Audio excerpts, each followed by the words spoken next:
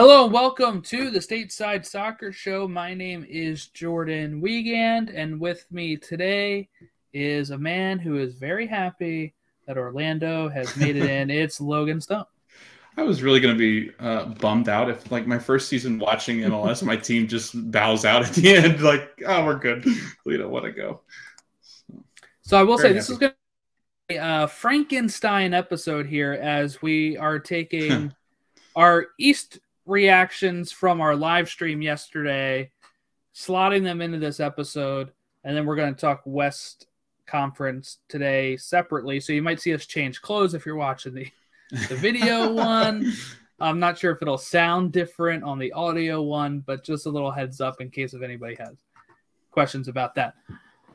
All right. Um, so let's go ahead and talk. Uh, let's start with the East. Yeah, we got some stoppage time going on here now, but Atlanta since he's over. Fifth playoff spot for Atlanta. What a run. We were talking about how disappointing they were. I think they made the change at the right time, right? Yeah. Oh yeah. Probably where we stand on that. Yeah. Montreal game, Orlando should be wrapping up in a few seconds we got two and a half minutes of Philly and about 40, 20, 20 seconds or so of Nashville Red Bull. Yeah.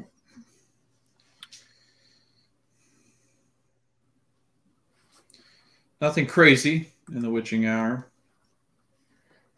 No, but over the course of the whole day, we did have a lot of places yes. change. So that was that was better than it could have gone, right? Like mm-hmm. uh it could have been a lot more boring. Uh, yeah. Things really picked up in the second half. The first half, you know, we really had that start with Nashville, and that was it.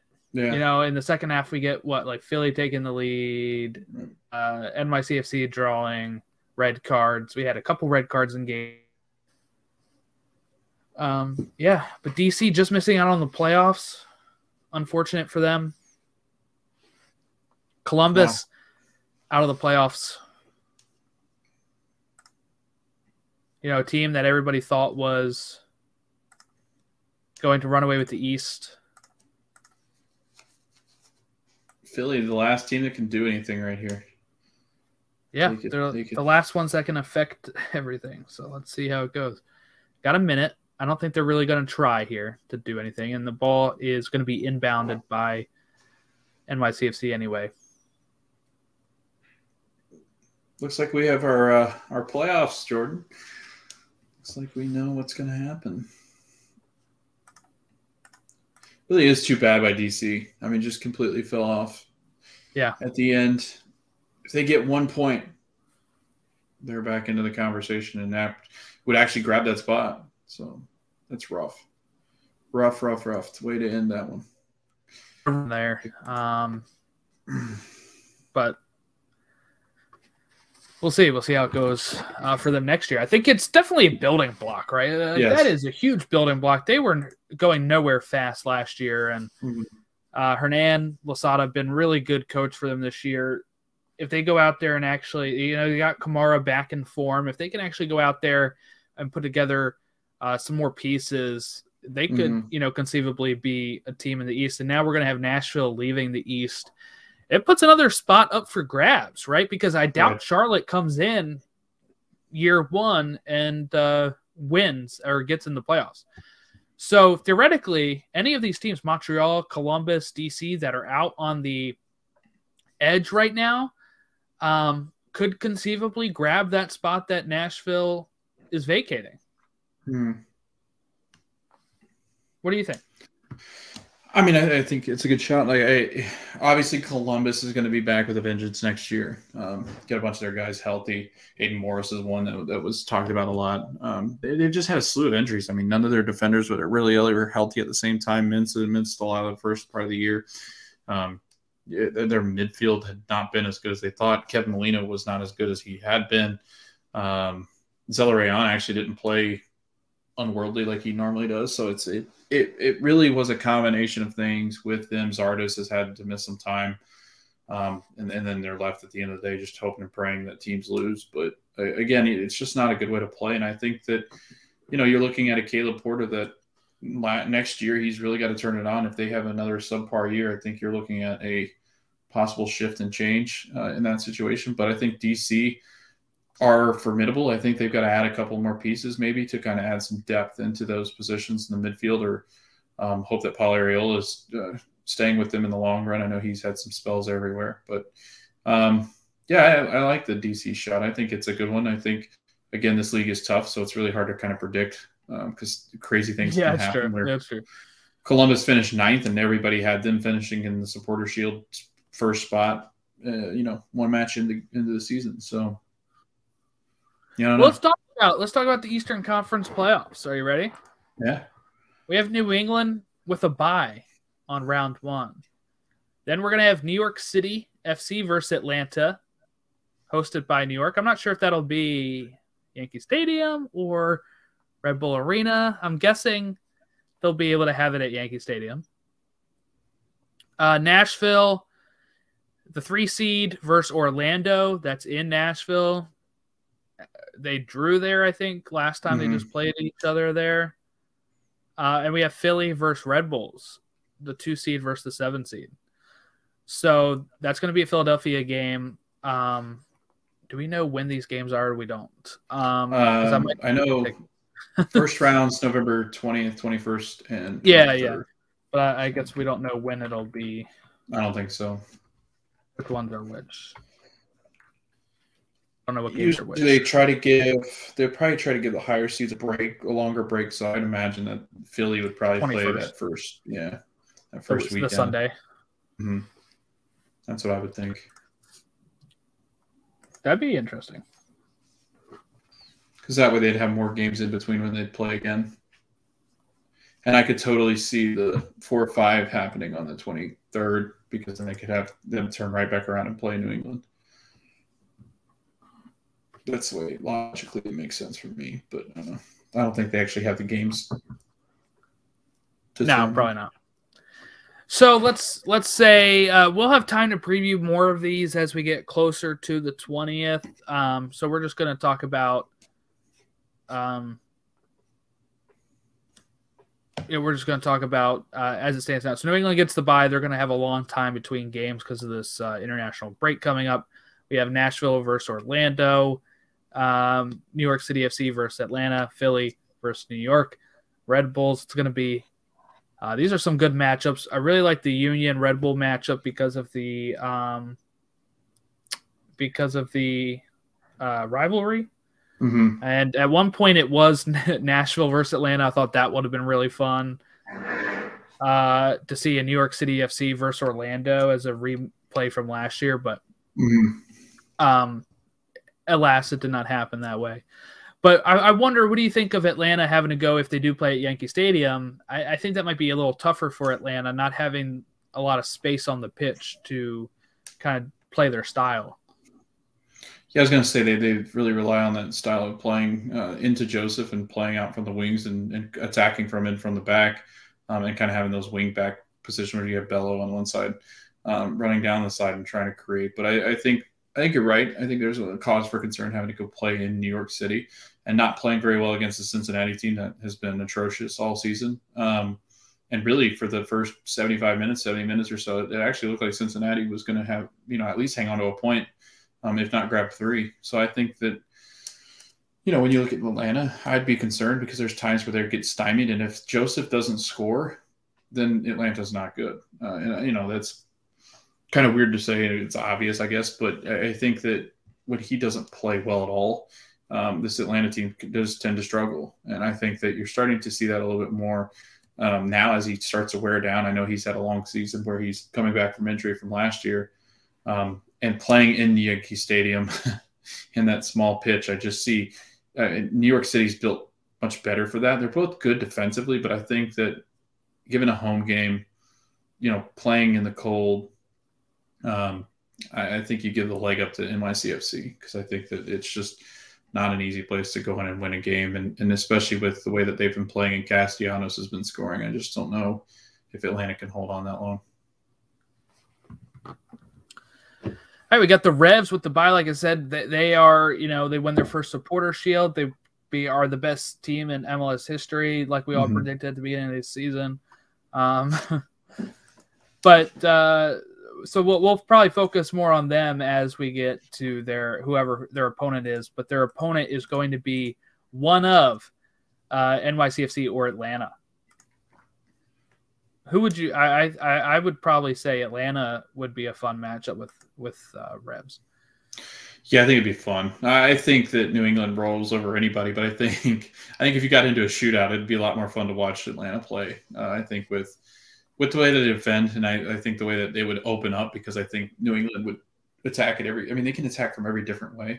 I mean, Buksa scores, Bou can score, Gil can score, Buchanan can score um, their defenders score. So it's, you know, Brandon Bye and those guys. I mean, it, it really is. And it's fun to watch Matt Turner play anytime you get a chance to do that. I just don't see anybody being deep enough to beat them. But I do think it's weird to say, you know, even with New York City being the fourth seed, I think Atlanta and a shootout would be a lot more fun just because I want to see what Josef can do against a really good Revs team.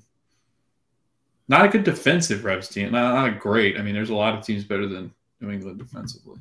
So, yeah, then we have um, the winner of Nashville or at least the winner of Philly, New York. So we would probably think what Nashville, Philly, uh, if we're thinking logically yeah. here, but MLS is never logic, so it might be no. like Red Bulls versus Orlando in the next round. yeah, I just Philly looks so good, and Philly's hard to beat at home now. Again, like they're just so difficult to beat at home, and with their defense, I mean they they've got one of the best defenses in the East think they're tied for, or they, they're in second place or just underneath two teams um, in Nashville and the Red Bulls. So it'll be defensive. And to be honest, that, that favors uh, Philly because I think Philly scores better. So um, Philly's got a better attack, consistent attack. I think Red Bull at times are very inconsistent in the attack. Fabio's okay, but once you get past that, it's like, okay, well, somebody's got to help us, and where's that going to come from? Yeah. And then uh, West Coast. Okay, uh, so looking at the West here, this was a wild finish mm-hmm. to the West here. Um, maybe we should have been live during this. I apologize. But we end up with Colorado winning the West. Like Seattle was running that thing for most of the season. Kansas City mm-hmm. was in second most of the season, and Colorado is going to leapfrog them on the last day of the season to win by one point the the top of the Western Conference, their highest point total in history. The first the first time they've ever been first place in the West. Pretty good uh, finish here for Colorado, um, who have like the lowest uh, salary, I think, yeah, throughout the salary. Whole league. Yep. Yep. So pretty nuts. Uh, so you have Colorado in first, Seattle in second, Kansas City in third, Portland in fourth, and then you have Minnesota, Vancouver, and Salt Lake as Galaxy get knocked out as they play against Minnesota. They draw against Minnesota, and as that's going on, RSL scores a very late goal in the 95th minute to bounce the Galaxy out. Galaxy's been in a playoff spot all season. I thought I was going to be right here because I had them in seventh place. I thought I nailed it. Nope. Galaxy hmm. do what they do in like the last three straight seasons and have to win on decision day and get bounced out. So, uh, pretty rough for LA Galaxy. I, I guess ultimately, maybe an improvement from where they were before Chicharito scoring, you know, a bucket full of goals after only scoring two before. A good start for Greg Vanney, maybe to start, maybe, you know, building. What do you think? Building, and then hopefully next season, you don't drop this hard, but they were a top three team for a good chunk of the season. Yeah, I think if you go back into our episodes and listen to Logan Stump talk, you can talk about how how good Logan is about predicting where Galaxy would end up because they did end up exactly where I thought they would. Close. Um, I had them in the beginning of the season. What, probably sixth or seventh? Yeah, seventh, sixth, seventh, eighth. I did get it right. You got oh it right. Oh my yeah. gosh! I thought I had him seventh. I didn't even look at it. Oh, seventh. Great. Yeah. Um, but Jordan, you and I talked about this we said if Chicharito can't figure it out, Galaxy are be a lot of trouble. What happened? Chicharito misses a lot of games again, and he's just not being able to perform at the level that he can. Um, you see him kind of make a rapid run at the end of the season uh, and start collecting games and getting some goals. Um, even in this match, uh, he had some goals. He chased down the Golden Boot leaders, even though he had not played as many matches, only got 20 starts and 21 matches played out of the 34 that they played. But um, 17 goals, and he looked phenomenal whenever he played. But uh, that was the story of the season. He missed too many games. They're very reliant upon Chicharito. They need him to score goals, and when they didn't get goals at the end, it, it causes some major concerns. And they've got some major concerns heading into the offseason. Um, Greg Vanney, I think, has this team like you like you're asking, heading in the right direction. I think they've got really good uh, promising players. I thought that Bond was actually really good in goal. He stood on his head so many times. I think this team actually could have ended up worse without him. Um, I thought that he played extremely well. They've got Kevin Cabral, who played extremely well um, in the season with them. Uh, Samuel Grandsir uh, coming over and playing um, his first season in MLS, played well. Víctor Vázquez, um, a fine wine and playing extremely well for Greg Vanney after coming over from Toronto. So Jordan, I mean, it, it, it does feel like they're building something, and you were around to watch Greg Vanney build a Toronto team. Does this feel familiar? Um, sort of. Yeah. Uh, and I say sort of because Toronto had a hell of a time getting into playoffs mm-hmm. uh, before Greg Vanney, and then Greg gets there. You know, I they may have missed another year or so before mm-hmm. he finally gets them in, and they become, you know, at one point a record-setting team and also winning Supporter Shield, being the best record ever, and winning MLS Cup that season, uh, is yeah, I can kind of see the parallel there a bit. I think it's a little different because the expectations in uh, yeah. in LA are a little different. Um, I wonder how our friends at LA is our house are doing with this because this was, um, I think you can't take it away as happily as you can any other season, like or like the Toronto ones, because mm-hmm. like we said, Galaxy were a top three team for half of the season and then just plummeted in the last two months here. And I think that stings. I think that stings a lot more than if they were an eighth place team the whole time, like LAFC, uh, who LAFC have been, you know, not not always in out of the playoff spot, but they've been uh, out of the playoff spot. I feel like longer than in a playoff spot for LAFC. Right. So I feel like LAFC, while it's disappointing, they're probably like, you know what, whatever, we'll we'll do better next year. LA Galaxy, it's almost like a. I worry about the mindset after, you know, not being outside of a spot ever, and then being like, oh, the last game, right and it, it, it's not even like there could do anything about it really. I mean, Chicharito scores uh, a lot of goals as he comes back from injury. That's probably the biggest thing that they need somebody there for when Chicharito is out, or if he is out, or if it's not working, that they can have somebody score goals because when he was out, they weren't doing anything. When he comes back, guess what? They're they're back in the cusp of it, you know. And um, I think they need a plan B. Right. It'll be interesting. They need attacking. Uh, they definitely need to shore up their defense. Uh, if they're going to have any chance next year, they've really got to shore up that defense because it was getting to a point where they just leaked goals to um, allowed 54, and that was one of probably the bottom half of uh, like near the bottom bottom half of the uh, Western Conference. They're sitting tied with a bunch of teams at 54, and those teams include the list of like San Jose and Houston. So if you know how bad they were defensively, then you can pretty much understand how bad the Galaxy are defensively. Let's talk matchups. We got Rapids on a bye. They'll face the winner of Portland, Minnesota. Mm-hmm. That's a good matchup. I like Very that matchup. matchup. Portland, yeah. Minnesota's marquee matchup for me. Mm-hmm. I think SKC versus Vancouver is eh, right? And Seattle versus Salt Lake is eh. Like we did lose with RSL getting in. We lost the savory matchup of Sounders versus Galaxy. LA Galaxy, which would have been awesome. Yeah. And I really would have liked to see that. Because while RSL snuck in here, I don't know if RSL has anything. I don't see our RSL winning MLS Cup. I, I, Galaxy could have conceivably made a push with the way Chicharito had been scoring and such, but I worry about the West Coast. Usually has some really good matchups this year, not so much. Yeah. Portland, Minnesota is the matchup, and then you're going to have Colorado versus either Portland or Minnesota. Now, if you have you can't you can't lose if Seattle goes through. Seattle goes through, they either face SKC, which is a good matchup, or mm-hmm. it's a Cascadia matchup versus Vancouver. I mean, Vancouver is going to be interesting though. Like they're saying they're going to win. Here's a quote from mm. Vancouver. Uh, from Vancouver, we will beat Sporting Kansas City. Yeah. I, I, mean, they've looked really good this year. They defended pretty well, and that, that's been kind of shocking. like yeah. they've actually played well defensively, and I, and I know that with Vancouver, you, you, could be surprised. I think you've got, I mean, a team that's going to come in. Obviously, everybody like last. right. Everybody coming in on underestimating what they've done. Um, Cristian Dájome has been really good uh, in the 33 matches he's played. He's got 10 goals, uh, four assists. Brian White has come on and been absolutely phenomenal. That's another name that a lot of people have forgotten about.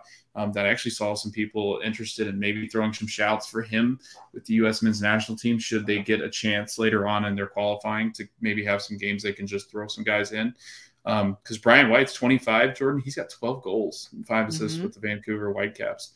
Um, coming on late, and again, but like like you said, I mean, it, it these guys just find ways. And uh, with that quote, I wouldn't be shocked if they gave um, everything and more uh, to Sporting Kansas City. Like I could totally see it, and I think I want to say that Daniel Salloi um, might have been knocked up, uh, hurt. So it, I don't know if he's got the knock or if that was false reporting on my end. I think he is, but um, he's not 100% heading into this game. Um, it will be at Children's Mercy, which is one of the toughest places in MLS to play um, as our guys from uh, No Other Pod could tell us all about. But I don't know. Like you said, it would have been really cool to see LA and Seattle going at it. RSL, Damir Kreilach's getting a lot of MVP shots because of how good he's been. So Mastrioni or whatever his what's the coach's name? Is it Mastrioni? Is that how you say that? Uh, for RSL, yeah, Pablo yeah. Mastroeni, yeah. Yeah, he's been good interim coach, but I think he's going to turn that into a permanent. I remember him as a player. He was on the Rapids. I remember him as a player like ten years ago. Hmm. Yeah. He's played. He's coached them well. So, and they're in a rebrand. Like this was their rebrand year. Remember we talked about this early on, where we didn't think they had a shot, and you know what? Because of the rebrand and how ugly it had gotten. Yeah, um, he was a, also he was also the manager for the Rapids at a point where that didn't really work out. So I do wonder how it'll be uh, for Mastroeni uh, if he. But you know, he got them into the playoffs. That that might be enough to give him a try next year, right? And see yeah. what happens. So we're really shocked by the Rapids, right? I mean, we talked to Pollard earlier this year, Matt Pollard, and he was talking about how good they were, and we were mentioning that they had a really good team, uh, and we thought that they could really challenge the middle of the pack.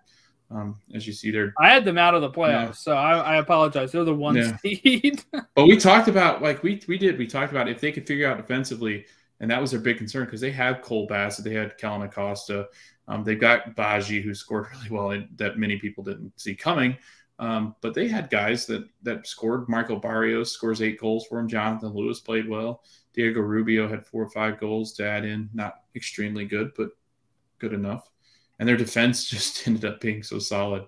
Um, Jack Price being Jack Price and, and that center defensive mid position and holding really well. Um, Brian Calvin played extremely well this year. Um, I don't know. It's just a, a, collective effort for Colorado, and I think that's why you see him in first now. Yeah, and uh, so um, any more of these matchups, or do we want to talk some of the other news that had happened? I guess we one last thing, like the Portland and Minnesota game. Looking at both brackets, I think that you're right. That might be the premier showdown between Portland and Minnesota. Yeah, it's gonna be good. I wish we knew what day these games were, though, at the time. well, I think we we kind of did this morning, and then people got mad and were like, uh, MLS went and changed it. I think that's yeah. I'm. I'm gonna say they thought, oh, they were like, oh, that was a mistake. We didn't mean to do that. I guarantee you, Jordan, that's exactly what they had planned. And then they were like, oh crap, the backlash was not good because now now the games are gone. Because before when I texted you that, that game with Philadelphia was at noon. That game had disappeared, but the game below it at three or whatever that hadn't moved off the app. That was the Vancouver then, SKC one. Yeah. Yeah. And then when I texted you not too long after I got in the shower and then I got out and everything was gone. The only things on there were the international breaks. So that was interesting. I don't think they meant to do that. And I think it was because they thought Philly people were going to get really mad that they were playing at noon. Well, it's not just that too. It's like I think Philly's the team with the most players on international break, and yeah, they are. then come back right as soon as the international break's over is stupid. But um, it doesn't matter. I'll you know whatever day the game is, it's whatever. Yeah. Um. Yeah, and then uh, like we talked about, the East is New England by you know NYCFC, Atlanta, Nashville, Orlando, Philly, New York. We'll see what that TV schedule is looking like later. The two Saturday games are on um, Unimas and uh, or Univision and TUDN. I think ABC game is on Sunday mm-hmm. and uh, some other games on Sunday. Then we have the weird like Tuesday game or whatever.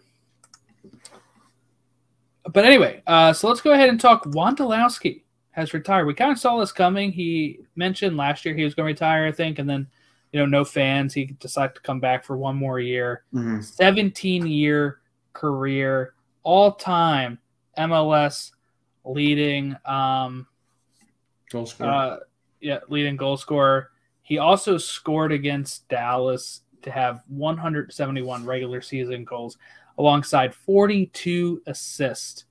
38 years old, what a career from Wondolowski, especially when you look at it and say 17 years, yeah, but he wasn't even a starter until like 2010 or whatever. Yeah. Like the first five years of his career were like nothing. Right. And then he turns it on in these last like 10 or 11 years and outpaces and outscores Landon Donovan, Jeff Cunningham, Jaime mm-hmm. Moreno, Kei Kamara. Um, so just an insane and was a goal away and it was a goal away in the U.S. men's national team of becoming uh, a legend. I think he was sort. offside there anyway. So yeah, we'll pretend he wasn't Jordan. but MLS MVP in 2012, Golden Boot winner in 2010 and 2012, Best 11 in 2010, 2011, and 2012, and you know that was a team that um, Quakes team in like 2012. I think won the Supporter Shield. Yeah, 2012. Yeah. Um, just not even talked talked enough about about how insanely good that team was in, in 2012. Um, they were known as the Goonies back then. Uh, little nickname because uh, they never said die. They were always scoring late goals. It was uh, pretty fun, pretty fun time watching the Quakes. Um, Can I ask you something? Yeah. Like, I, yeah, because you, you've watched it long enough. Um, I mean, it, obviously it's too bad that he didn't play for a better team, but like he really could have been like unbelievably, I, I guess, recognized in a way that it's like uh, world shaking, uh, almost like in the names of Landon Donovan. Because I'm not sure, like, while people know who he is, I, I just being in San Jose. I mean, in the last what from 2013 down to 2021, here's their finishes: 10th, 18th, 13th, 17th, 12th, 23rd this is league league ranked 15th, 15th, and 20th. Like this team struggled to make the playoffs with him. Um, struggled to really be relevant at all. Like, do you think that he, if he had played somewhere else, he could have reached some of these heights that like we would all know who Chris Wondolowski is? Because if I say Landon Donovan, much more people in the U.S. are going to know who he is than Chris uh, Wondolowski. I don't think so because uh, I think the team fit Wondo pretty well, and I yeah. think he, you know he was scoring goals that whole time. The issue was he wasn't in the playoffs, right? Yeah. Uh, except for like that 2012 run and maybe 20 a little few years after that, mm-hmm. but they were never that dangerous in that regard, and I think that kind of changes things a bit because not everybody in America watches MLS anyway. Landon Donovan is more well known for his U.S. men's performances. Yeah I don't know if Wondo was ever going to be good enough to because he got started so late. Yeah. Uh, to really make an impact that way. Um, and uh, you know now if if he got caught into a camp, people would lose their darn minds on Twitter.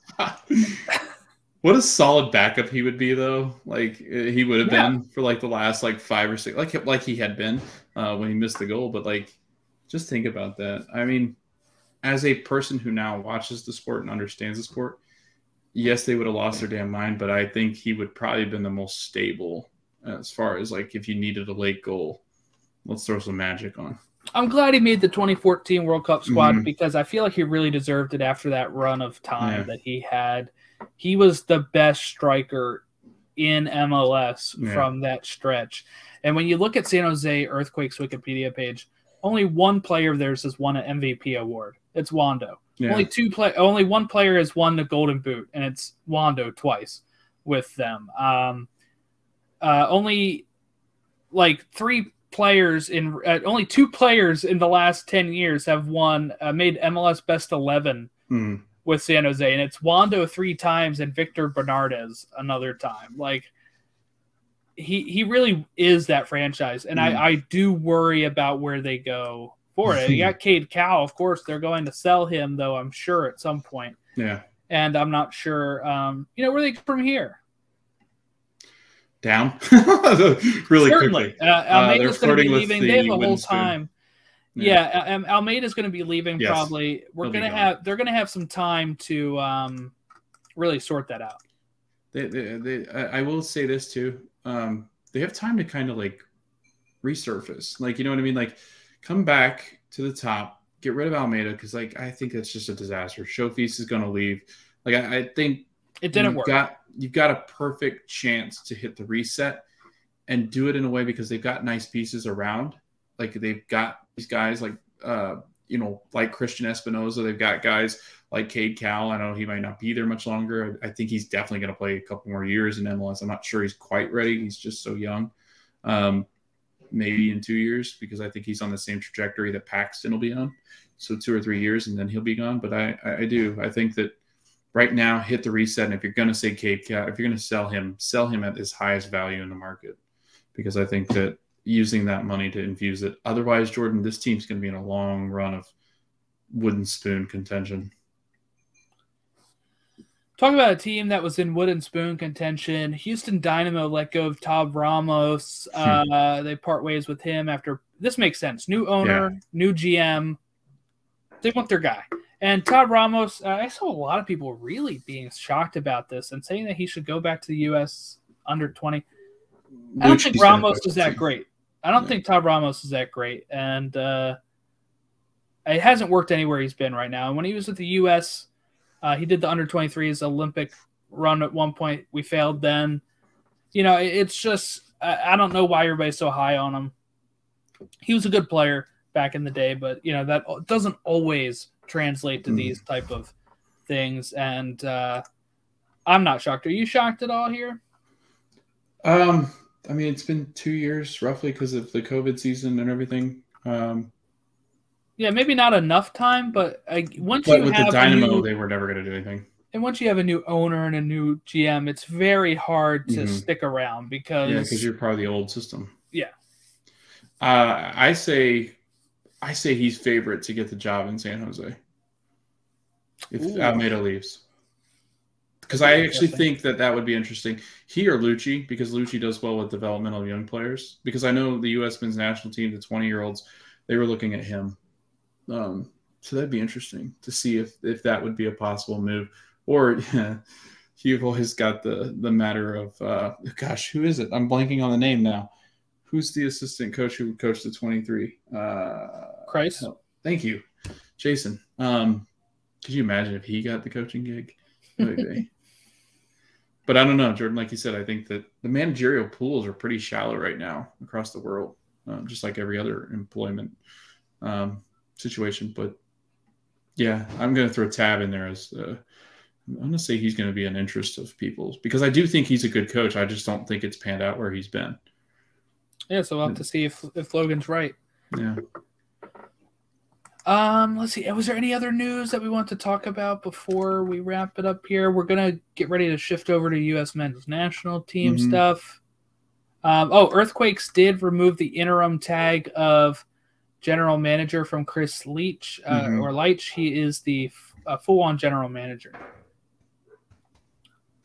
Are they? They're the ones using that consulting group, right? Yes. Oh, a Lord. few teams are, yeah. Mm, good. That's a part of the other problem. Uh, just the fact that like you're going to have this collection of people trying to make decisions about a team that is in disarray. Yeah, we'll have to see how that. Uh...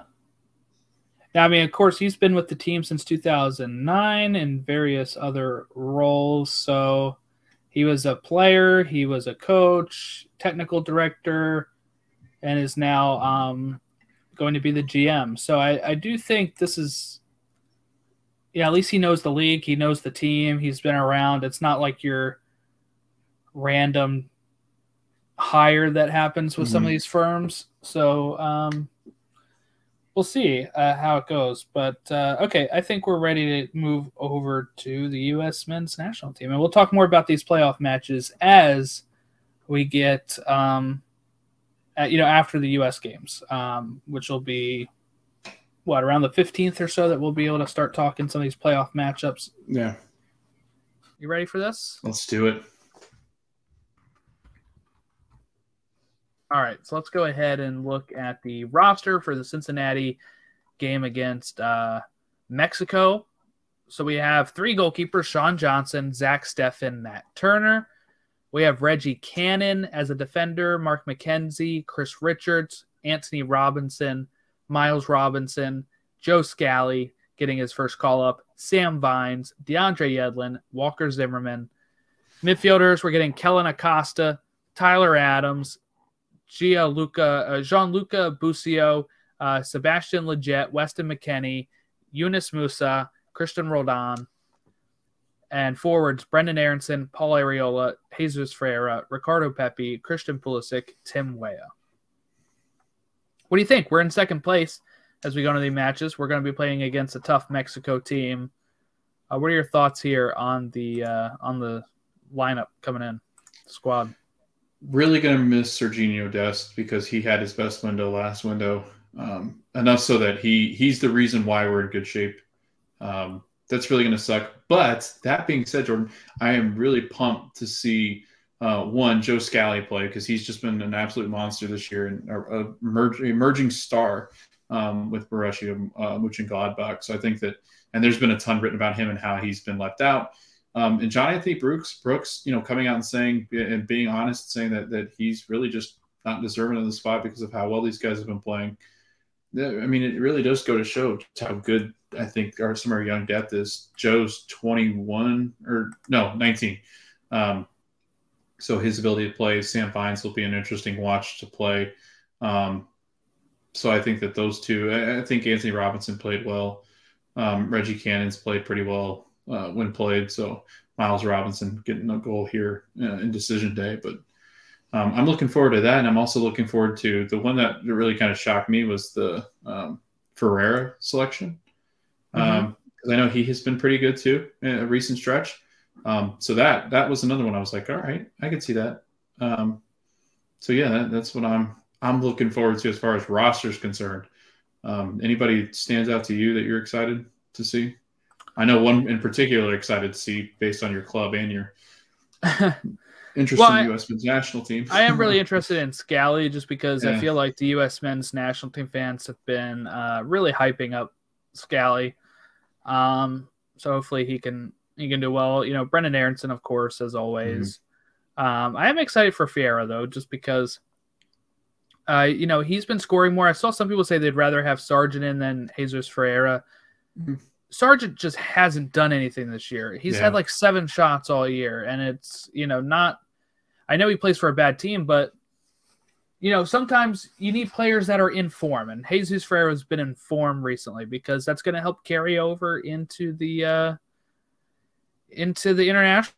I think you know he's going to be a little bit more confident compared to Sargent um, with yeah. Norwich just being awful. And now Norwich is going through a manager change that you wonder how that's going to affect Josh Sargent over there too.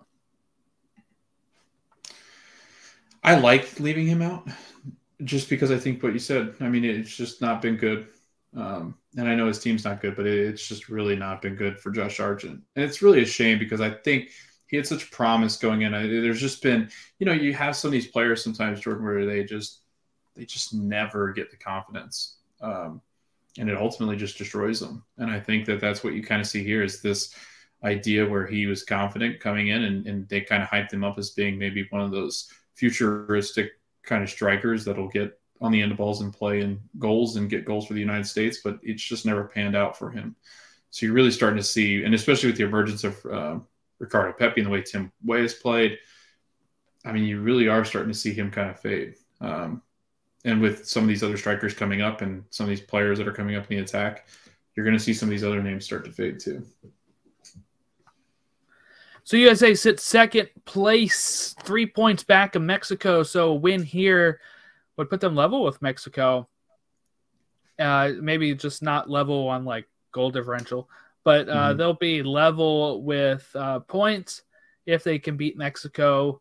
If not, then you know not much might change here. But Canada faces uh, Costa Rica next, and they're in third. Canada is Panama in fourth. They face Honduras next. Jamaica in sixth. They'll face El Salvador next um, and Hon- uh, Honduras facing Panama, like I said, and Honduras is in eighth. Uh, then the next set of games, USA is going to face Jamaica, so uh, that one will be on the road and without any fans in the stands, right? Yeah. And Mexico supposedly has a ban on fans. Yeah. So we'll see how that affects uh, the CONCACAF World Cup qualifying octo, you know, octagon here. See how that how that goes. Um, geez, anything else we need to talk about with uh, MLS or U.S. men's? I, I guess what? Uh, how many matches left do we play? We play. Is it fourteen in the octagon? Yeah, fourteen in the in the octagon. Fourteen. We're three up on Panama. I don't. I like our chances right now. Uh, again, I think December and January, or sorry, November and January are big windows. After January, I think we'll really see how we stand. Yeah, as far as is concerned. And what's you the last really window? March. Mm, yeah, March twenty, or yeah, March twenty fourth, twenty seventh, and thirtieth. And it's a really tough window. It's Mexico, Panama, and Costa Rica. Because by the yeah, time you so, hit January, you've got six matches left. So here's how it'll work. By the time we record next time, we'll talk USA Mexico. Then we'll look ahead to the Tuesday game of Jamaica USA. Then we will talk about the next time we'll talk Jamaica USA and look ahead to MLS playoffs. January 26th 7th, we have versus El Salvador. January 30th, we have against Canada. Then February 2nd, we have Honduras. March 24th, we have Mexico. March 27th, we have Panama. And March 30th, Costa Rica. So we'll know soon if we're qualified or not. That's scary. Yeah. It is, isn't it? Like by the end of this window, like next next week, next Tuesday, after you know next Wednesday, we'll know we'll know a lot. like mm. there could be some big separation. We really, I mean, I guess that you're at the point now where you're really hoping just Panama lose. Yeah. Like they've got Honduras and they've got El Salvador, so I don't know if that'll happen. Um, because the the game against Honduras is in. Let's see, where is this? This is Honduras. So that game's in Honduras, but Honduras is not good. Um, they're the last in the table, and then they go home. So I don't know if they'll drop points here, but if they do, that could be huge. But I don't think until January we'll really know. We can't drop any points, not in this window. I feel like we've got to beat Mexico. I think a draw with Mexico is fine. Do you think so? Yeah, yeah, and I think actually you're probably going to lose against Mexico, and that's fine. You always say that. yeah, always, we played him so much, and then it's funny because like I'm I obviously I, have watched it, but not close enough like Jordan has. So every time I've watched the U.S. play Mexico, it's gone well. it's gone very well. Good luck. Whereas where you've watched it, you've been like, oh my god. but a lot of those like haven't been even like good wins. Like the, the yeah. you know we we usually struggle. Um, so look, I, I'll totally take it if if we can if we can beat them, but I think you can lose at home to Mexico and still qualify for the for the World Cup. Right. That'd be their what first, second loss, first loss. Mm-hmm. We're undefeated, right? Or did we lose a game? Uh, we lost a game. Oh. We lost. Um, who was it? It was. Oh yeah, we lost to uh on the road, right? Uh, yeah. Panama or El Salvador. El Salvador. Uh, Panama right? Panama beat us. Yeah, Panama beat us one nothing. One nothing at their place. Not good. But Canada has a tough window too. They got to play Mexico as well. So if Canada and Panama drop points and we gain some points on people, I feel a lot better. Yeah, we got to beat Jamaica. Got to beat yeah. Jamaica draw against Mexico, and you got another four points, and you're looking pretty good going into the next window. This window only has two games, so you you know we kind of got lucky with the game against Mexico only having two games, like the window with Mexico only having 2 mm-hmm. games. And the next window is not till the end of January. They're going to do some friendlies in December. It sounds like so. We'll see. We'll see how it goes. Bosnia versus Herzegovina in like mid December. All right, so uh geez. Um what's your prediction here then? They beat Mexico or they or they don't? That's the only game we have to preview. Um here. yeah, I think I think they'll beat Mexico. I think we stack up really well against them. I think the first time really as I've understood, you know, going back and looking and having them talk about US men's national team, I think that there's just something where we we defend pretty well as far as uh, you know some of the other teams are concerned. I think that we play better defensively. Um, we've only allowed four goals um, in the qualifying, and I think too our, our, our attack's finally starting to come together. I think we're starting to piece together some stability, which you and I talked about a ton. I mean, you you know having Yunus Musah, having McKennie, having Pulisic, having you know not Gio Reyna now, but having Gio Reyna normally. Um, and then Ricardo Pepi's really stepped in that role, and Brenden Aaronson's become a staple. So I think having those guys starting to figure it out, I think, and, and, Greg will have to play them in this short window. I think there's not like that game, like you know how he had that game in between where he had that's what when we lost to Panama, where he had kind of like that lull. Yeah. Um, I don't, you don't have that with a two game window, so it's very bam bam play them. so I think you'll see the most consistency in Greg's lineup in this window. As long as that game aren't. that game's 9 10 p.m. on Friday, November 12th on ESPN. Mm-hmm. And actually, that's what MLS website says. ESPN just told me ESPN two. So I guess you trust ESPN more, right? So I'd say ESPN yeah. two is probably where that's going to be. And I'm pretty sure that's what it said before because people were freaking out that ESPN two was carrying the game instead of ESPN one. You do know mm-hmm. they're in the same amount of households, right? Yeah. Like for everybody freaking out. If you have ESPN, you have ESPN two. It's not like the yeah. older days where they're one or the other. It's not like this is on FS2, which people right. don't usually have.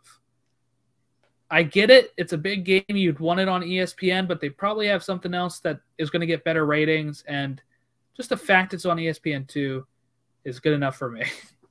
Yeah. Um, but for some editing magic here, if you're listening to the show or if you're live, the West Coast games are going to start. I know on the podcast we already talked about the West Coast games, so you're probably confused. But uh, we're gonna head out of here. Where uh, where you can follow us, if I can talk, is on Twitter at Stateside Show, Instagram at Stateside Show, Facebook.com slash Stateside Show, or email us stateside show at gmail.com and uh, we'll uh, talk all about Mexico versus U.S. men's national team on the next episode, and we'll look ahead to the Jamaica game. And I hope everyone has a great rest of your week. And thanks for joining us.